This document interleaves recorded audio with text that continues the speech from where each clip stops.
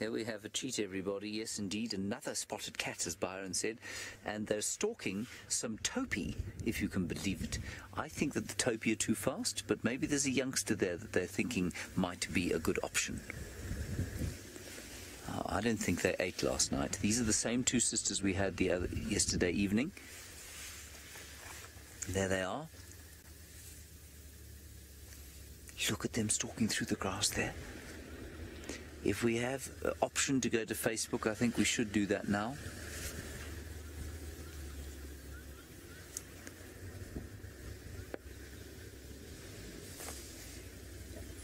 I think these topi are too big.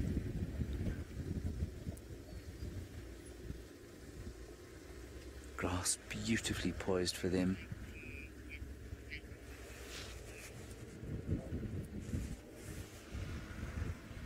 Now they're both up. They're both looking. Some of the topi might have seen them, but some of them are lying down. Now, if we do go live to Facebook, everybody, you'll have to hear that blurb again. But that's okay. We've got Cheetah on the hunt.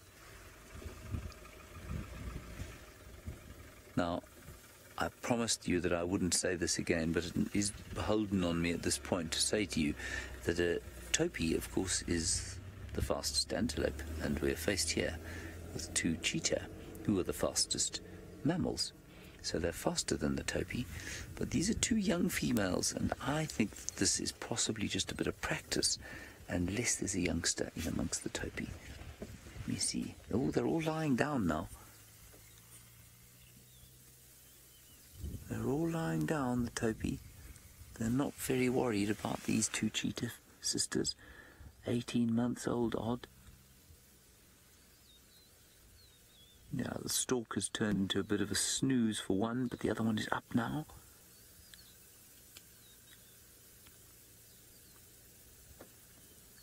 There we go. Look at her stalking through the grass. They're both up now.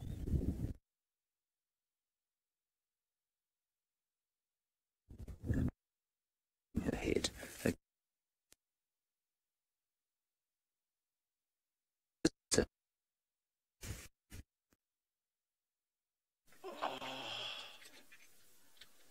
Hello, everyone. You've come at a good time. Sorry that you've lost James, but we've got a serval.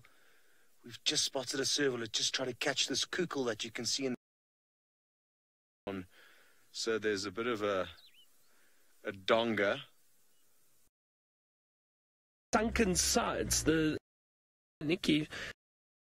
Right. Uh, let's Keep going.